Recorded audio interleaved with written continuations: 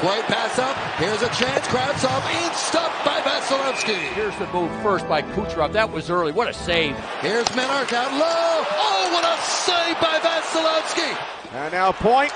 Stopped by Shesterkin. Oh. Now steal by Hagel. Stopped by Shesterkin. And then Heedle, who is going to be seeing Andrei Vasilevskiy in his nightmares tonight. Hustling back and a save by Igor Shesterkin. Flies it across and a save. Has a chance for Stamkos.